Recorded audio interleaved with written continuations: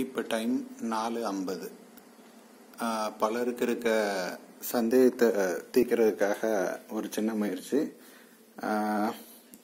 இது ஆக்சுவலாக ஒரு ஹாஃப் லைம் நான் ஏற்கனவே பி- பிழிஞ்சு வச்சுருக்கேன். இப்போ எனக்கு வந்து லைம் ஜூஸ் குடிக்கணும் போல் இருக்குது இந்த நிறைய பேர்த்துக்கு டவுட் இருக்கும். காலையில் வெறும் வயத்தில் பழம் ஏதாவது சாப்பிட்லாமா? அப்படின்லாம் கேட்பாங்க. அது மாதிரி ஜீனி சாப்பிட்லாமா அப்படின்னு கூட கேட்பாங்க.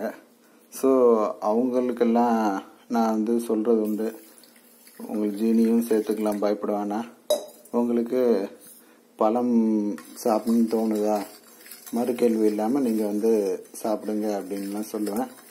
ஆக்சுவலாக அது ஊருக்கு உபதேசங்கிற மாதிரி அடுத்தவங்களுக்கு மட்டும்தான். அப்படி நமக்கு அப்படி கிடையாதுலாம் இல்லை. நான் என்ன பண்ணுறேனோ அதை தான் நான் அடுத்தவங்களுக்கும் சொல்லுவேன். ஜீனியை கண்டு நானும் பயப்படுறதில்ல. யாரும் பயப்படுங்கன்னு சொல்கிறதும் இல்லை. உண்மையிலே நாம் நம்ம உடம்புல வரக்கூடிய பிரச்சனைக்கு நிறைய காரணங்கள் இருக்குது ஆனால் நம்ம எல்லாத்துக்கும் ஜீனி தான் காரணம்னு ஒரு தவறான புரிதல் இருந்துகிட்ருக்கு ஸோ அதை தெளிவுபடுத்துகிற வேலையை நான் கொஞ்சம் காலமாக பார்த்துட்டு தான் இருக்கேன். ஸோ இப்போ அதுக்கான ஒரு ப்ரூஃபும் தான். இப்போ நான் வந்து லைம் காலையில் நாலு ஐம்பதுக்கு பிழிஞ்சு அதில் ஜீனியை போட்டு கலக்கிட்டு இருக்கேன். இப்போ ஓகே ஓரளவுக்கு டேஸ்ட் வந்திருக்கும். எனக்கு எனக்கு ரொம்ப கண்ணெல்லாம் கொஞ்சம் கஷ்டமாக இருந்தது. அதனால தான் இதை பண்ணுறேன் இதாக குடிக்கிறேன்.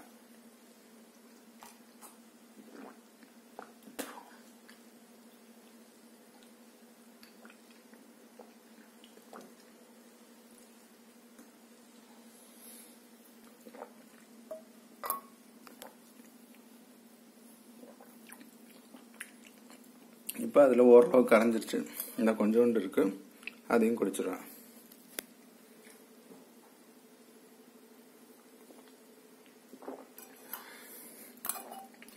இப்போ ஜீனி மட்டும்தான் இருக்கு. ஆக்சுவலாக அது என்னோட ஃபேவரட் ஐட்டம் அதனால அதை நான் அப்படியே சாப்பிட்டேன். இப்போ என்னன்னா இதை நான் பண்ண உடனே இப்போ எனக்கு கண்ணுக்கெலாம் ரொம்ப கஷ்டமாக இருந்தது. அந்த இதெல்லாம் இப்போ வந்து ஃப்ரீ ஆயிடுச்சு ஸோ இப்போ இந்த இடத்துல எம்டி தான். ஸோ இது ஜீனி தான். வேற எதுவும் இல்லை உப்புன்னெலாம் நினச்சிடாதீங்க. ஸோ இதுதான் என்னோட ஸ்டேட்மெண்ட் உங்களுக்கு எப்போ என்ன தேவையோ அப்போ அதை கொடுத்தீங்கன்னா நீங்கள் நல்லா இருப்பீங்க. அதை விட்டுட்டு யாரோ சொல்லிட்டாங்கன்னு சொல்லிட்டு உங்களுக்கு பிடிச்சது உங்கள் உணர்வுக்கு தோன்றதை நீங்கள் மதிப்பா மதிக்காமல் இருந்தீங்கன்னா அதுதான் உங்கள் உடம்புல ஏற்பட பிரச்சனைக்கு அடிப்படை காரணம். ஸோ இப்போ நான் லைம் ஜூஸ் குடித்தேன் இப்போ அதுக்கான டைம் ஓகே நாலு ஐம்பத்தஞ்சு கிட்டத்தட்ட. ஸோ நம்ம உடம்போட தேவைக்கு மட்டும் மதிப்பு கொடுங்க. நிச்சயமாக நீங்கள் நல்லா தான் இருப்பீங்க. இந்த இப்போல்லாம் குடிச்சிருக்கேன். எனக்கெல்லாம் இது பல நாள் இதெல்லாம் குடிச்சிருக்கேன். இன்றைக்கி தான் ஒரு ஐடியா தோணுச்சு. இதை மாதிரி லைம் ஜூஸ் கூட நம்ம வந்து குடிக்கலாம். வெறும் வயிற்றுல கூட குடிக்கலாம்.